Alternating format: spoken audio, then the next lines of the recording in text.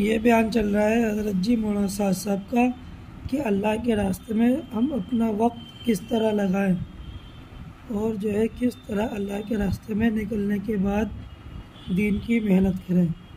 तो आइए साथियों, हम और आप मिलकर सुनते हैं हज़रत जी मौलाना साहब साहब का ये बयान। हज़रत जी, इस बयान के अंदर क्या फरमा रहे हैं? किस तरह अल्लाह के रास्ते की मेहनत करी जाए?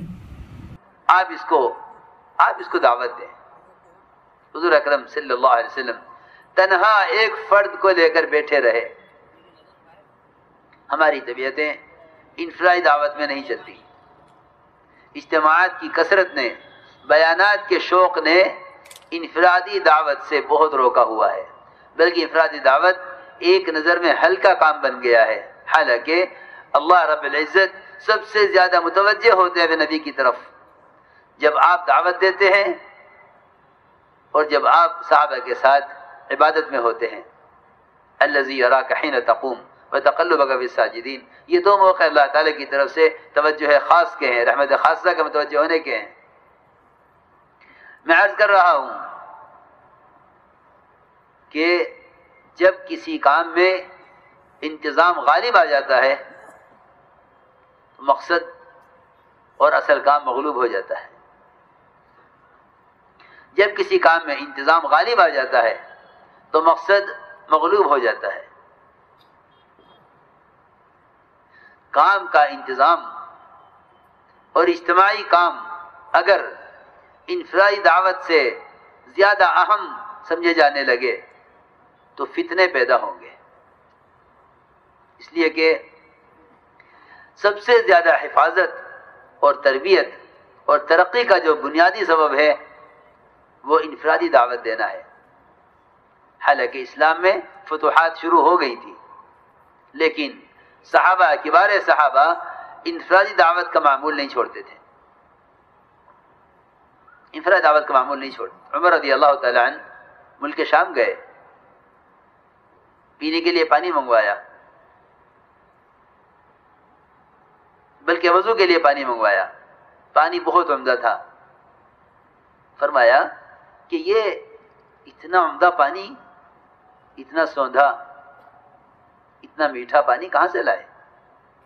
साथियों ने कहा मिनीन यहाँ एक यहूदी बुढ़िया है, उसके घर से लाए हैं।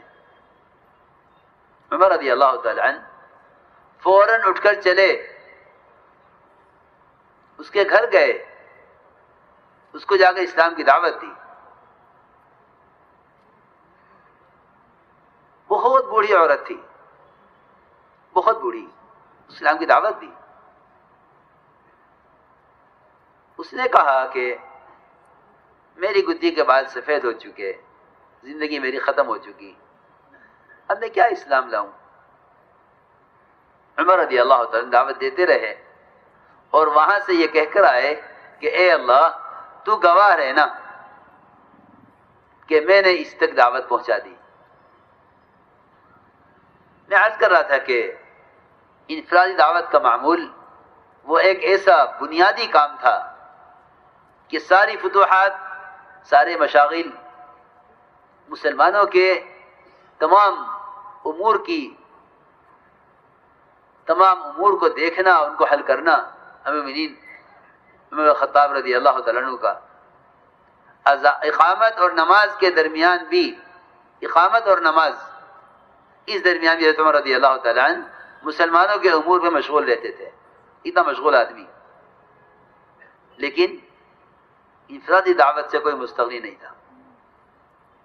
तो मैंने अर्ज़ किया कि हजूर अक्रम वसल्लम की ये सबसे बुनियादी सुन्नत थी।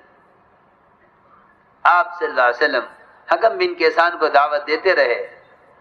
यहाँ तक कि उमर रदी अल्लाह को आपकी कोशिश पर रहम आ गया।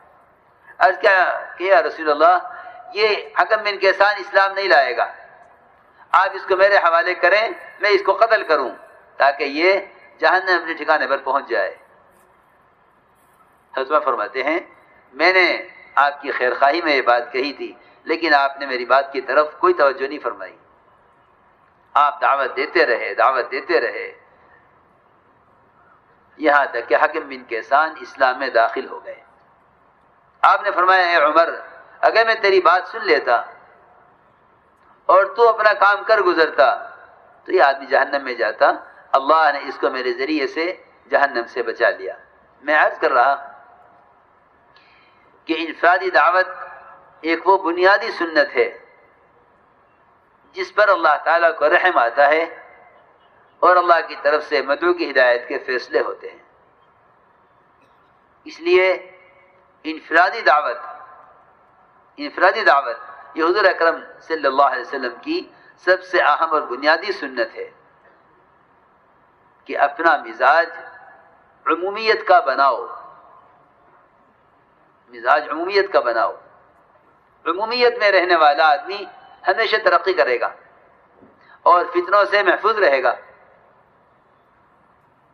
अमूमियत में रहने वाला आदमी हमेशा तरक्की करेगा।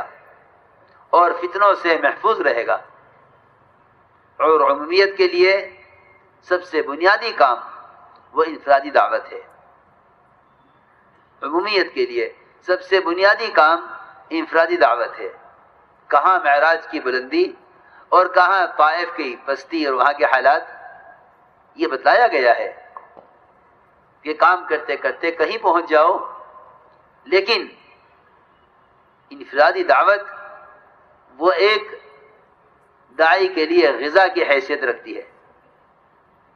मौलाना इलिया साहब रहमत के मलफूजात पढ़ रहा था।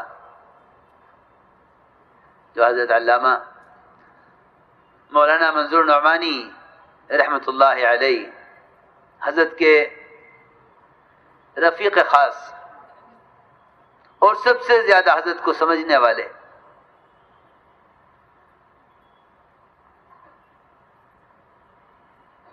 मंजूर नौमानी रहमत वरना इलियास साहब रहमत की मंशा पर गौर करते थे कि यह शख्स अपनी इस बात से चाहता क्या है और वाकई बात यह है कि एक आलिम का जहन एक आलिम का जहन उनकी चाहत पर गौर करने से ही उस चाहत की हकीकत तक पहुँचाया करता था। ये मैं ज़रूरी बात अर्ज़ कर रहा। इसलिए कि किसी बात पर एतराज़ कर देना, ये आदमी की अपनी कम इल्मी की अलामत होती है। एतराज़ अक्सर कम इल्मी और जहालत की वजह से होता है। मैं आज कर रहा था कि हज़रत मौलाना ने रहमत ने मलफूजात जमा किए हैं। जिसमें मालियासा एक मलफूज नकल किया है कि मेरे नज़दीक उम्मत का यह हाल इस वक्त का, इसका तकाजा यह है कि इनफरादी दावत की अहमियत मेरे नज़दीक इतनी ज़रूरी है कि अगर कोई शख्स नफिल नमाज़ में मशगूल हो और कोई नया आदमी आकर जाने लगे जिसके कान में दीन की बात नहीं पड़ी। इसको चाहिए कि नफिल नमाज़ तोड़ दे इसको रोक ले अगर ये ठहरने वाला है तो पहले नमाज़ पूरी कर ले और अगर ये जाने वाला है तो पहले इसको दावत दे फिर नफिल नमाज़ पढ़े। ये मलफूज मलफूजात में छपा हुआ है।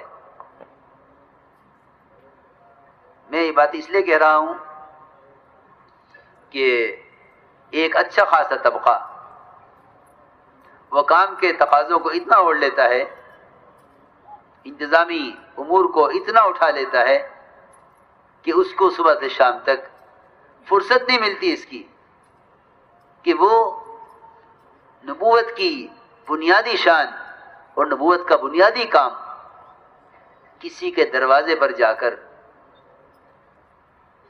उसको खुद जाकर दावत दे। उसको इंतजामी काम की वजह से इसकी फुर्सत नहीं मिलती, जिसकी वजह से इंफरादी दावत की अहमियत कम होती जा रही है। अमूमी वक्त और अमूमी गश्त। फरमाया कि ये रीढ़ की हड्डी है का मतलब यह नहीं था कि हड्डी की तरह मज़बूत बल्कि मतलब ये था कि अगर इसमें कोई फ़र्क आया तो पूरे बदन में फ़र्क आएगा। उठने में, बैठने में, खाने, पीने में, पेशाब पखाने में आप देखा करें, जिसकी कमर की, हड्डी की एक डिस्क या एक उसका जो है, एक हड्डी उसकी सरक जाए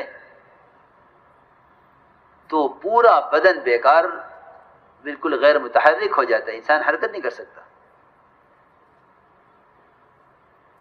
ये मतलब था कि ये इफरादी दावत, ये ऐसी कवी और मज़बूत चीज़ है जो काम के सारे तकाज़ों को, इसलिए कि अल्लाह ताला की जो गैबी नुसरत है, उस गैबी नुसरत से काम चलेगा।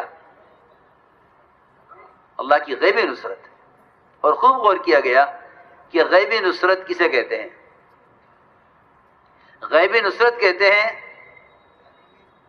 अल्लाह ताला की तरफ़ से दाई के लिए ऐसे वाक़ात का नजूल और ऐसे वाक़ात का पेश आना जिससे गैर इस्लाम कबूल करने पर मजबूर हो जाए।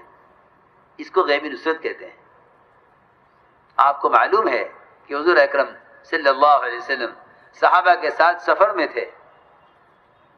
एक आदमी को उसके घर की तरफ़ जाते हुए आपने देखा। आगे बढ़कर दावत दी। अपनी रिसालत अल्लाह की तोहीद की। उसने पूछा, कौन गवाह है इस पर? सहाबा आपके साथ थे। अब्दुल्ला खुद रिवायत करते हैं कि हम आपके साथ सफ़र में थे।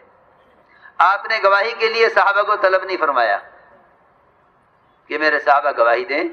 आपने गवाही के लिए उस देहाती को गवाह गवाह पेश करने के लिए साहबा को तलब नहीं फरमाया। हालाँकि उसूली बात है कि किसी भी बात, किसी भी दावे में गवाह इंसान होता है।